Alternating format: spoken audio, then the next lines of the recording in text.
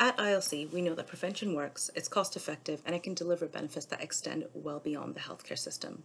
But if we want prevention to truly deliver these benefits, we must ensure that preventative services reach everybody equally. We must ensure a democracy of access.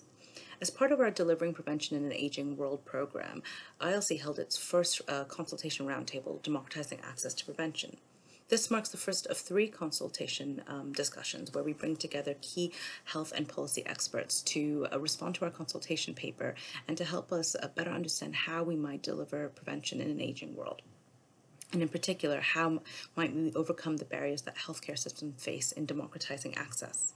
Throughout our discussion, some really key and interesting points were, were, raised. The first of which was that we must ensure that individuals are at the center of policy responses.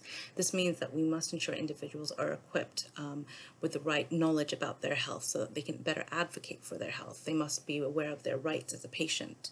We must also ensure that healthcare systems um, are equipped to, to respond to the diverse needs of, of individuals, the device uh, health needs that they face throughout their lives. This means that healthcare systems need to be reoriented to follow the needs of the patient rather than the other way around. And we also know that the voluntary sector plays a really crucial role in delivering preventative healthcare, and our um, stakeholders said that this was a really important area that we need to focus.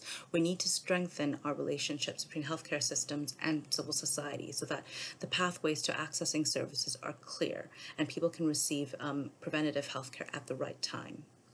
And finally, our stakeholders said that we must address and tackle ageism seriously. This means that we need healthcare systems to be age friendly and we need all professionals, all healthcare professionals, all of those involved in delivering healthcare to um, be educated on ageism. That means all the way from those um, still receiving their education to those well established in, um, in the sector. Although we've had a roundtable discussion, we know that the discussion does not end here. So if you have any ideas, further insights into how we might democratize access to prevention, I invite you to respond to our consultation um, paper, which you can find on our website.